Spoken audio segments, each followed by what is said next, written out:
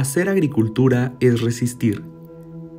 Este reportaje expone los rostros de las mujeres que resisten en las ruralidades. Permite un acercamiento a ellas y a su trabajo agrícola que impacta en la economía de las familias y desarrollo de las regiones. Expresa también cómo viven, quienes son madres, la maternidad y las maternidades, así como las complejidades del autocuidado y la conciliación entre vida laboral y dinámicas personales, porque su jornada no termina en la parcela. Al llegar a casa hay que barrer, lavar, cocinar y maternar. De acuerdo a datos del Servicio de Información Agroalimentaria y Pesquera, 96.7% de las mujeres rurales trabajan y realizan otra actividad, como los quehaceres domésticos, cuidado de otras personas, asistencia a la escuela o mantenimiento del hogar, entre otras. María del Consuelo Cortés García, este, de aquí de Yurecuaro. Tengo 47 años y pues aquí ya en la, aquí en esta empresa tengo como unos 7 años ya en esta empresa. Mi nombre es Mayra Lisset, este, tengo 33 años, soy de aquí originaria de Yurecuaro, Michoacán. Yo soy de Angamacutero, me llamo Claudia Díaz Martínez este, y ahorita vivo en Yurecuaro, tengo 35 años.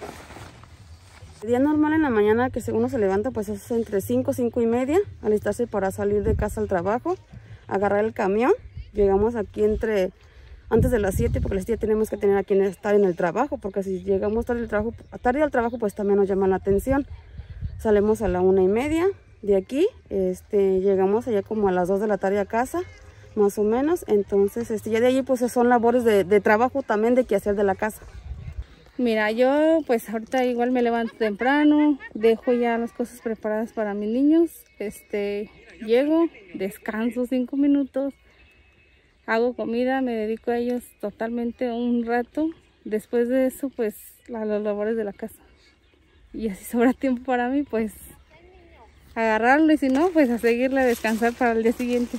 Sí, pues para uno mismo tener que preparar comida, tener que lavar ropa, pues tener que hacer pues su, su quehacer de uno, más que nada el hacer pues de la casa también. Uno llega pues derechita al, al, al, trabajo del hogar, más que nada pues. Yo llego, este, ya que, que me vengo a trabajar, llego, este, hacemos de comer con mi mamá, a veces ella me ayuda a lavar, a veces yo le ayudo a lavar.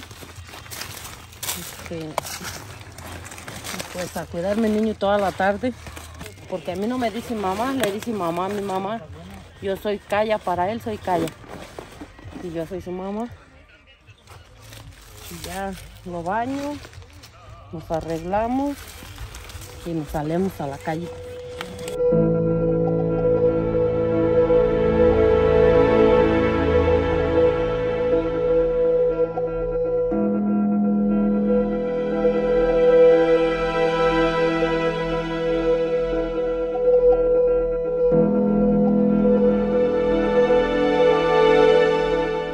Los campos productores del noroccidente de Michoacán, en los municipios de Zamora, Jacona, Los Reyes, Peribán, Tangancícuaro, Jiquilpan, Villamar, Tanuato y Yurecuaro, exportan fresas, zarzamoras, arándanos, coliflores, brócolis, lechugas, cebollas, chiles y jitomates. Las mujeres representan fuerza laboral importante, son empleadas por temporada, trabajan de lunes a sábado, aunque también a veces los domingos, desde las 7 de la mañana hasta las 13 horas en la huerta, o más cuando hay carga de trabajo. Los cultivos agrícolas demandan cuidados particulares y muchas manos para poder producir y ser exportados en el mercado exterior. Sobre todo las plagas, las plagas, este trips, araña, este roya, son hongos, este es lo que hay que estar al pendiente de principalmente. La maleza, pues con, con repelas, con una palomita se le nombra. Este. Y, y las plagas, pues algunos con repelentes. Tratamos de utilizar la mayor cantidad de veces posible repelentes. Y cuando no, pues sí aplicamos algún, algún químico. El riego es por goteo. Este, ya no se utiliza tanta cantidad de agua, sino tiene dos cintas y cada cinta tiene una perforación a, entre 10 y, 15 centímetros, entonces este va tirando gota por gota y es de la manera que regamos. Pero dependemos mucho de la mano de obra. Dependemos mucho de la mano de obra. Hay gente que viene de Zamora, de Jacona, traemos gente de Zacap. La mayor parte se exporta a Estados Unidos, pero ellos tienen eh, vendedor en, en Europa. Entonces mandan fruta a Europa cuando hay el precio lo, lo justifica y a Rusia también mandan fruta. Tener un trabajo estable les permite a las agricultoras empoderarse económicamente, saldar los gastos cotidianos y familiares, pero también tienen la oportunidad de hacer crecer su patrimonio personal, convivir con otras mujeres y formar alianzas de sororidad. Que le echen ganas a la vida, que no nomás con una persona al lado se, se sale adelante. Que para todo hay si no sabe trabajar en esto, habemos personas que las podemos enseñar a trabajar. Échale ganas, se puede en la vida. Yo saqué a mis dos hijos adelante, junto con mi compañera, que es la, la, patrona de nosotros. Este, yo y ella sacamos nuestros hijos adelante, sin ninguna persona a nuestro lado. Yo tengo mis dos hijos, yo los mantengo y, y soy el sustento para ellos.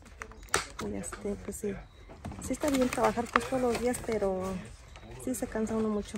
Invierto en mandados, todo lo que se ocupa allá en la casa y a veces le compro zapatitos al niño y Me beneficia en que pues tengo para darles de comer a mis hijos, para pagar mi renta, para sacar adelante a mis papás que no trabajan.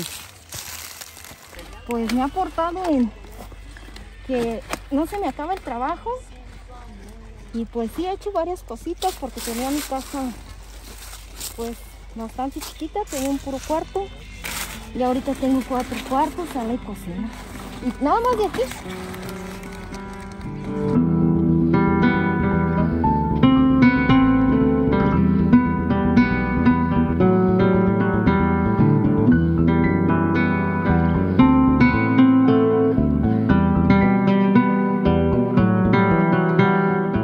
Modelos de producción agrícola en esta región son intensivos y monocultivos. Funcionan con el uso de pesticidas y fertilizantes químicos que ponen en riesgo la salud de las personas, del ambiente y del agua. Las cuencas del río Lerma y el río Duero atraviesan por la zona y en ciertos puntos son contaminadas por descargas de agroquímicos que luego transportan a geografías más lejanas, como el lago de Chapala.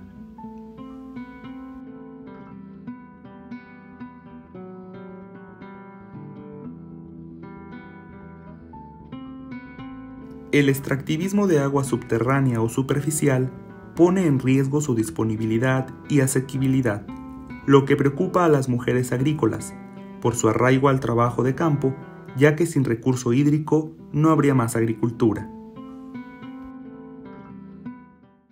Pues obviamente que mal, mal y desesperada y pues no sabría la verdad qué hacer porque ahora sí el agua es vida. Este, entonces para todo, si nos ponemos a pensar, el agua es para todo, tanto indispensable desde el, desde el hogar hasta los trabajos y para todo. Ahorita decimos, sí, sí tenemos, pero va a haber un tiempo a lo mejor en que no vamos a tener. Y ahí vamos a querer esa gota que estamos tirando de agua. Pues sí, sí, sentiría muy mal la gente sin agua, la verdad. Porque es vital tan solo para darle vida a todo esto, que esto también nos da vida a nosotros en cierta parte. Entonces, tenemos que cuidar el agua más que nada. Ser conscientes de lo, de lo que está pasando. De, de que si no cuidamos el agua, vamos a estarlo necesitando y vamos a llorar por una gota de agua después.